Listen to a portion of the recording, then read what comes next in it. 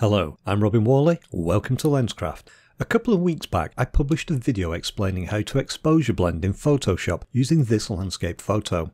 At the end of the video I showed the finished photo. It seems quite a few people have wanted to see how I completed the editing and specifically how I added the mist to the scene.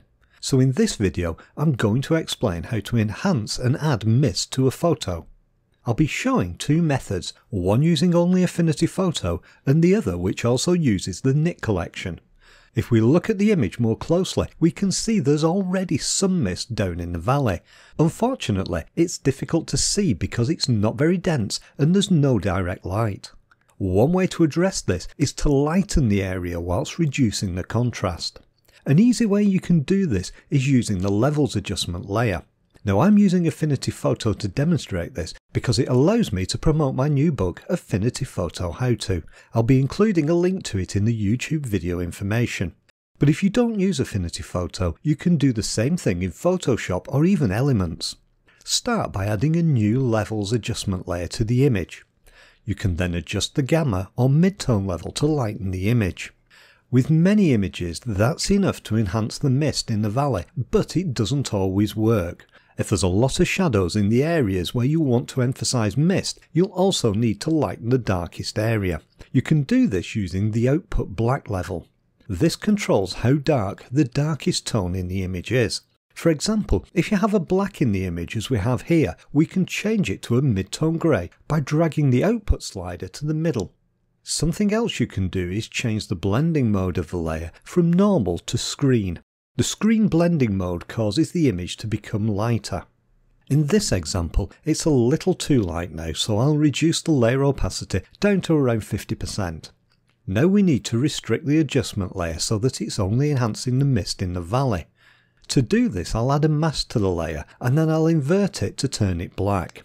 This hides the mist effect across the entire image and allows me then to paint it back in in selected areas. Now I'll select the paintbrush tool and white so that I can paint the mist into the valley. When you do this be sure to use a soft edge brush and a low opacity to help the effect blend in. I'll start with the brush opacity at 20% and I'll have the hardness setting at 40%. Now I can paint in the effect in the valley and the distant hills whilst trying to avoid the foreground rocks. This gives the image a three-dimensional effect and makes the mist more realistic. The reason I'm using hardness of around 40% and not 0% is to help my painting precision around the rocks.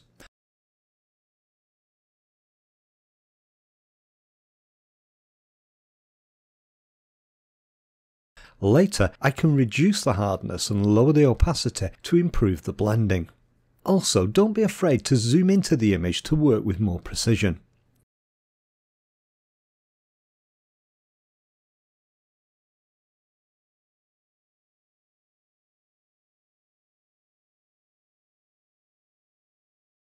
After painting in the mist, you can adjust the opacity of the layer to reduce or increase the strength of the effect.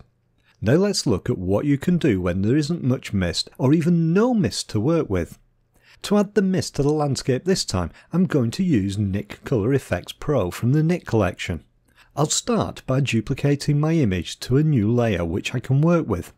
I want the mist to appear on this separate layer so that I can control where it appears in the image using a mask. With the new layer selected, I can launch Nik Color Efex Pro.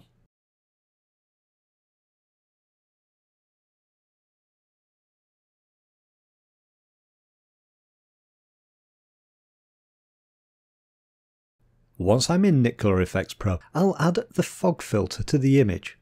In the fog filter you have a method dropdown. You can use this to select the method you want to use to create the fog, each of these producing a different effect. It's worth checking all of these methods because the different methods suit different images. For this image, I'm going to use method 3. Now I can use control points to add the mist in the valley rather than across the entire image. At this stage I'm not going to worry about getting the mist to look realistic because control points don't give me the accuracy I need to prevent it affecting the rocks.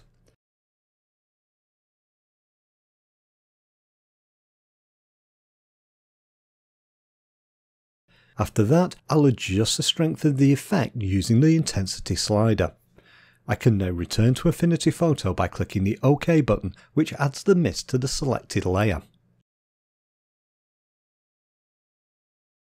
Now that I'm back in Affinity, I want to create a mask to hide the fog so that it doesn't affect the foreground rocks.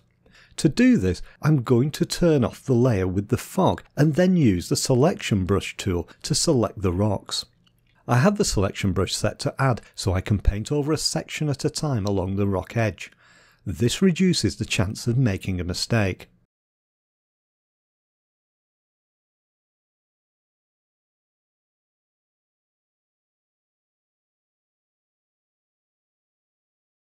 I can then select the rest of the area that I want to mask out.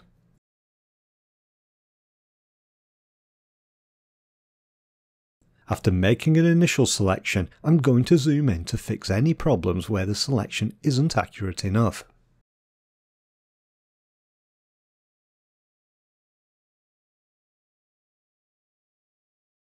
To fix these areas, I'll use the Refine Selection dialog. If you want to know how to use these tools, I've previously published a video explaining this and I'll include the details in the YouTube video information. Photoshop has a similar feature.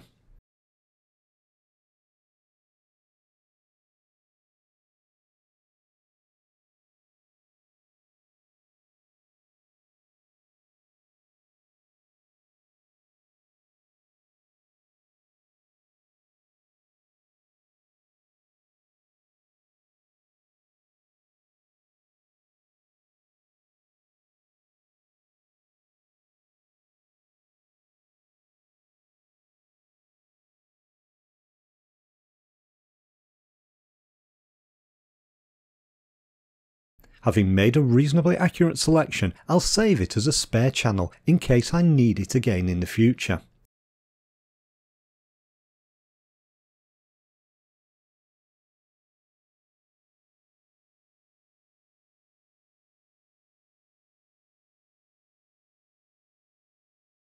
I can now turn on the fog layer visibility again before adding a new mask to the layer.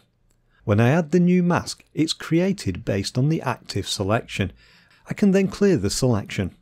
If I need the selection again, I can easily load it from the spare channel I've already saved.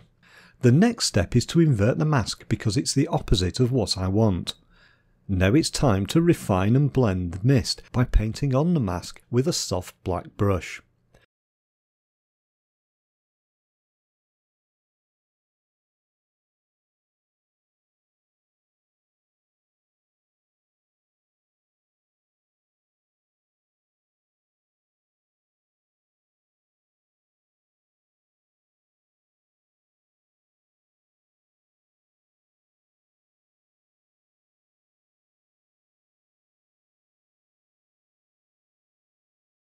Here's the starting image again.